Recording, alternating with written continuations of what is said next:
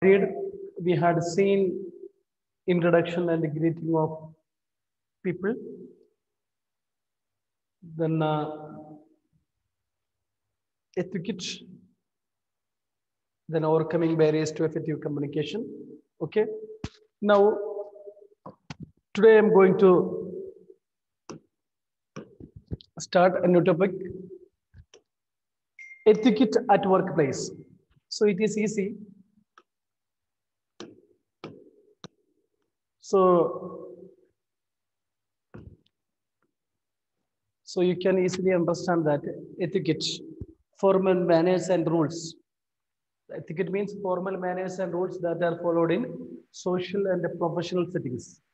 Okay, that is which one etiquette. So etiquette at a workplace okay so that for that it is necessary for communication and for for, uh, for working style also we need etiquettes. Okay? So uh, what is the etiquette means? Suppose if you are dealing with the customer means we have to suppose if they are asking any service you have to listen the entire message. Then you have to uh, which one? Uh, you have to decide what they want. Okay? So uh, then you have to create a impression on the uh, opposite party. You have to make a first impression okay on the uh, which one uh, people you, uh, to whom you are talking. Okay that is means good manners means good business. Good manners means good business. That is uh, which one etiquette at a workplace. You have to listen the entire message. Whatever the superiors are telling that you have to listen. Subordinates are telling that you have to listen. A good listening can solve a lot of problem. Then your dress, everything manners only. Your uniform talks a lot about your organization. First impressions are made within five minutes of the meeting someone. So some people have the uh, which one ability, capacity, skill uh, to uh, make impression on the other people. So that we have to make. So if you are dealing with, if you are working in organizations okay so when you are meeting anyone you have to make a best impression on other people. Next a neat clean and well ironed uniform is acceptable and appreciated by one and at all times okay? Well dressed neat clean well ironed okay? So through that way uh, which one? We can attract the people and uh, it will make a best impression to the other people. So that is etiquette at a workplace uh, then uh, it is related to that point only business introduction. In business introduction rank and position take precedence over age and gender. Okay? Age and uh, gender. Means suppose um, i am working in uh, which one? SBI bank. As a which one? A clerk. But now so new uh, new manager appointed in uh, our bank. New manager appointed in our bank. Uh, that is which one? Suppose Basil is appointed as the managing managing director of that SBI. Suppose if any client comes to our bank, suppose I want to introduce which one my manager. So what will do? I have to tell. So his name also, his position also, I have to mention to show respect to the MD to show respect to the Basil. So I have to mention the post also. Okay. So here means rank and position takes precedence over age and gender. So age we are not considering. Okay. Age, suppose a Basil age is 60, uh, uh, 60. That I have no need to consider. Okay. Position we have to consider. Post. Okay.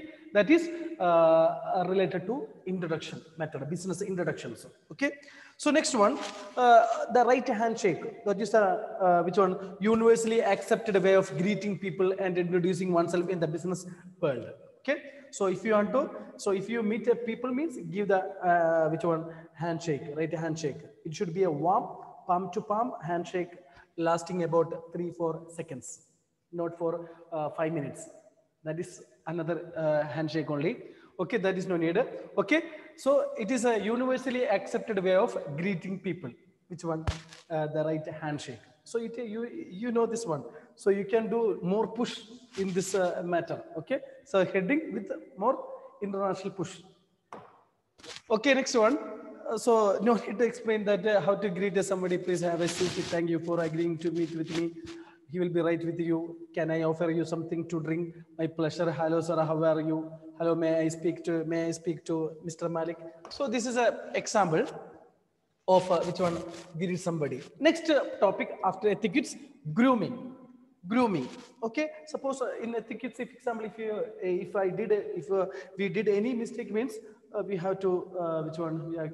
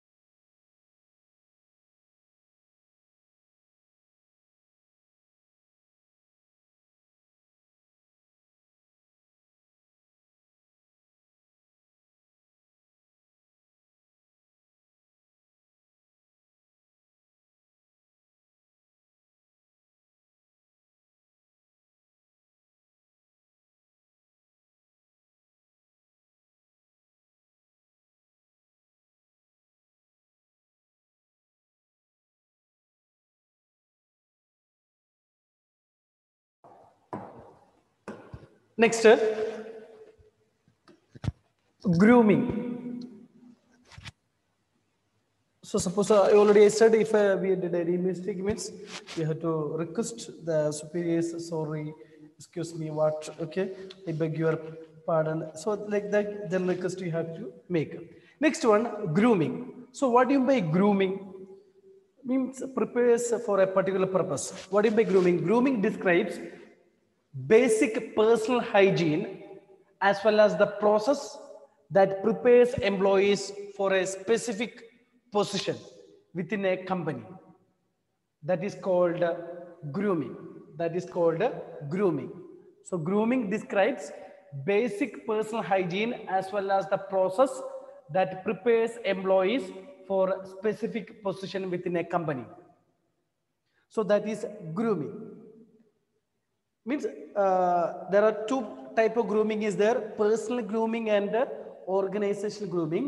Means personal grooming is focused on appearance but the organizational grooming is based on behavior okay? So both the type of grooming are necessary to succeed in work environment okay? That is grooming so it describes basic personal hygiene basic personal hygiene. Means uh, practice of cleaning that that is that is also that is a grooming. It describes basic personal hygiene as well as the process that prepares employees for a specific position within a company. So there are two type of grooming personal grooming and organizational grooming. So what do you mean by personal grooming? So personal grooming in inside refers to the art which helps individuals clean and maintain their body parts. That is personal grooming. Okay, it refers to the art which helps individuals to clean and maintain their body parts. Otherwise, it refers to the cleaning and maintaining each and every uh, body part for pleasing appearance. for pleasing appearance. That is personal grooming. That is personal grooming. So means we want uh, we want like to talk with uh, someone who is uh, which one dirty dresser. Okay, the which one who is not taking care of personal hygiene. So that is which one uh, personal grooming. Okay, so personal grooming means uh, cleaning and the maintaining uh, which one each and every uh, body part for pleasing appearance. That is called personal grooming. So here you look, uh, it is a taking care of your body in hygienic manner. That is which one personal grooming means. Example, uh, brushing your teeth, combing your hair, okay, uh, trimming your nails, shaving, wearing clean clothing, showering is important for person's health. That is called that is personal grooming. That is called personal grooming. Then in that clothing is clothing style is an extension of of your attitude. Okay, clothing style. Okay, clothing style is an extension of your uh, which one your attitude. So if it is a well-groomed people wear clothes that are ironed, fit, and are not torn. Okay, well-groomed people they will wear the uh, which one cloth that are ironed, fit, and uh, not torn. Okay, then uh, uh, their pockets should be uh, preferably empty. Some people we can see that uh, every item will be in their pocket, snacks, okay, purse, everything. Okay, so uh, it is not uh, to look awkward. So that is important. So the personal grooming is important to avoid the spread of germs in the workplace. Okay, that's why it is very important personal grooming. So it refers to the cleaning and maintaining each and every body part. Okay, for a pleasing appearance. For a pleasing appearance, under that uh, clothing style is very important to uh, judge your attitude. Next one, organizational grooming. Organizational grooming. So same only for that purpose, uh, which one uh, personal grooming also needed. Means here means how uh, one is prepared to uh, for a position in a workplace. That is organizational grooming. So it means here means it include demonstrate work appropriate behavior. Here we said uh, organizational uh, grooming is based on behavior. So it demonstrate work appropriate behavior. So means uh, include positive attitude, use of good manners, good manners, smiling, okay, making eye contact, listening and discussing rather than arguing, okay. So uh, these are the uh, work appropriate behavior. That is which one? Organizational grooming. Organizational grooming means grooming individuals for a job. That is a part of which one? Organizational grooming okay so means here means managers groom employees how to do their job more efficiently and skillfully that is what uh, organizational grooming okay so uh, here uh, personal grooming also include because every organization have their own dress code uniform. Okay so that uh, that we have to wear that is a part of organizational grooming. Okay so here means demonstrating work appropriate behavior. Work appropriate behavior. That is called uh, which one? Uh, use of positive attitude use of good manners smiling. Okay then uh, listening the entire message if example if superiors are issuing any orders instructions means we have to listen the entire message. If the subordinates are telling any message that you have to listen rather than arguing. That is which one uh, which one organizational grooming. Suppose in the banking activity so suppose if any customers are coming to the bank so uh, you have to wish good morning uh, can i help you? Okay uh, which one uh, do you want any assistance what are you looking for? So so through that way uh, we have to do more things in under organizational means work appropriate behavior that is under uh, organizational grooming. So next one framing of framing of questions and complete the sentences. Framing of questions and complete the sentences. Framing of questions and complete the sentences Okay, so before, so first I said uh, greeting at workplace, good manners means good uh, uh, business. So it is very important. I think it is very important for communication and among working styles. So you have to create first impression within five minutes of meeting someone. Okay. So that is etiquette at a workplace in business introduction. So here uh, we are introducing anyone means we have to uh, tell their position also. It will give more preference over their age and uh, gender. Then uh, handshake is the universally accepted means of greeting uh, people and introducing oneself in the business world. Next one, uh, grooming. So grooming means describe the basic personal hygiene as well as the process that prepares employees for specific position within a company. So grooming, uh, the, the, the, there are two type of grooming. Personal grooming, it is based on appearance.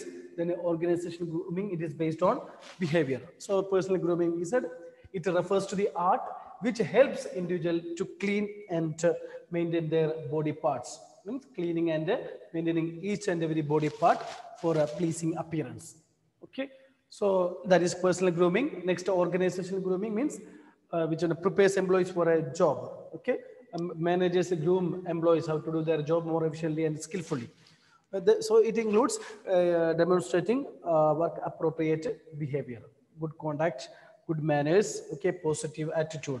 Okay, uh, optimism, optimistic. So that you have to follow under organizational grooming. Next, framing of questions and complete the sentences. So you are studying English, okay? So it is very easy for you. So means uh, we know that the interrogative nouns, interrogative uh, pronouns like uh, who, whose, whom, what, which, then interrogative adverbs where, when, why, and how are used to frame questions. So these are the answer, and after that they given the questions, how to frame the question. So these are John's frame question, which will elicit the elicit the following answers. These are John's book. So question is, whose books are these? Okay, whose books are these? So answer is, these are John's books. Then I want a pen. I want a pen. What do you want? Okay, what do you want? Then uh, answer is, I want a pen. So on the basis of answer, you have to frame the question. We will stay with our cousins. So whom will you stay with? Okay, answer is we will stay with our cousin. Then I am going with my aunt. Uh, whom are you going with? Okay. Next, why did you? It is best first you have to uh, tell the question. Then it will be easy. Then uh, why did you go there? Uh, I went there to meet James. So question you have to frame. Which is your which is your boy? Which my boy is the one in red shirt. Okay. Then uh, I met him last week. I met him last week. Where did you uh, meet him? Where did you meet him? When did you meet him? When did you meet him? Next, uh, this bridge is 50 feet long. 50 feet long. Then how long is this bridge? Next one, uh, my father is 60 years old. Okay. Uh, how old is your father? Next, 10th one, I have two brothers and sisters. I have two brothers and two sisters. How many brothers and sisters do you have? Next, Mr. Matthew is our headmaster. Then, who is your headmaster? Next, last, we came to this place five years ago. When did you come to this place? Okay, these are the uh, thing, example of framing questions and complete the sentences. Here, answer is given. On that basis, you have to find the uh, which one questions. So, to that, for that purpose, but we have to use uh, interrogative pronou- pronouns and the interrogative adverbs. Okay. Already you know. Okay, next one. Dealing with customers in banking environment. Dealing with customers in banking environment. Only three more topic is there.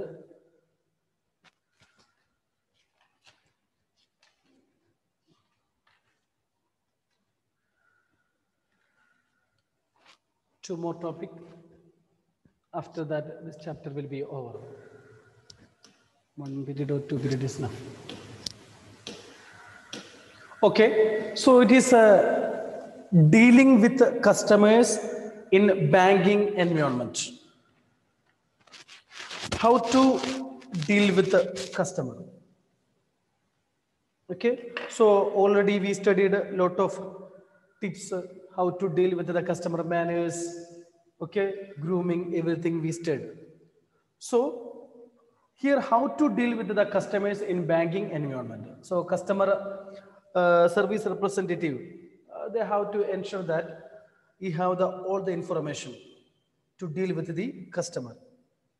Okay, so for example, if you have any doubt related to any topic, so you can tell that uh, which one can I get back to you. Okay, after sometimes uh, then I will tell within five minutes I will give the information means within five minutes he have to give. After asking uh, the doubt, he will clear doubt to the uh, which one customer.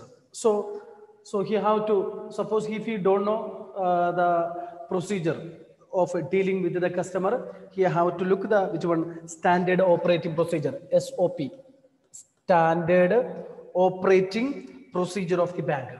Standard operating procedure of the bank. Under this lot of instructions are there related to how to deal with the customers. Okay? So that he have to look. Okay? But uh, but he he uh, then also he if he didn't find any information some information so that information he have to ask uh, his superior his superior okay uh, about that matter. Then he have to get information. Then he have to deal with the customers okay. Anyway we have to follow the standard operating procedure of the bank. So according to that basis which one they have to deal with the customer how to deal with the customer okay so a lot of procedures are there uh, some strategies for making a good impression while dealing with the customer. So these are the strategies to make a good impression while dealing with the customer.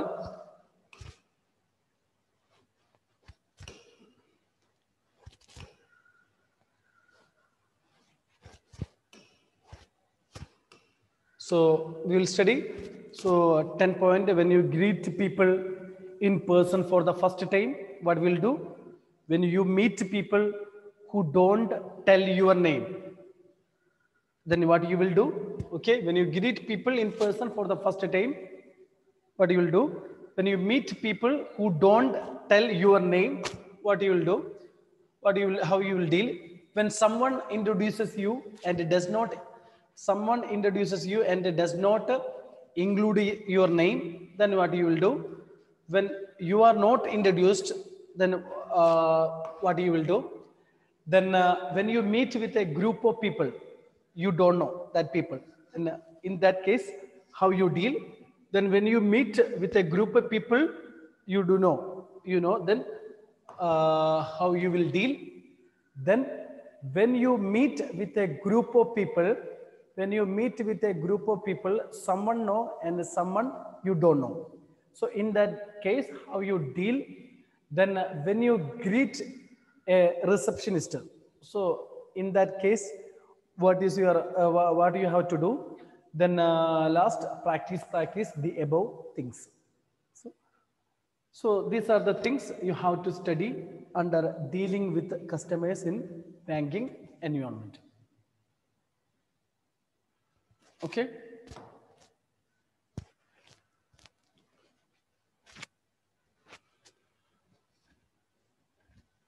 So here we are discussing uh, to deal with the customers also, deal with the other people also in banking environment. Not only with the customer, to other people. Suppose any meeting is there, banking meeting. So if you want to go outside, in that time if you meet any people, otherwise uh, with uh, our colleagues, any dealings is there, that is also uh, included in uh, this heading, dealing with the customers in banking environment.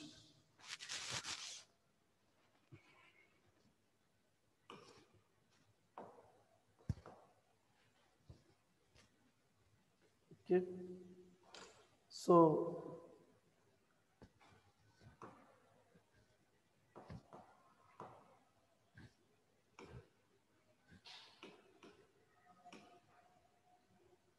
So next period I will discuss. Okay. So next period when? Thank you.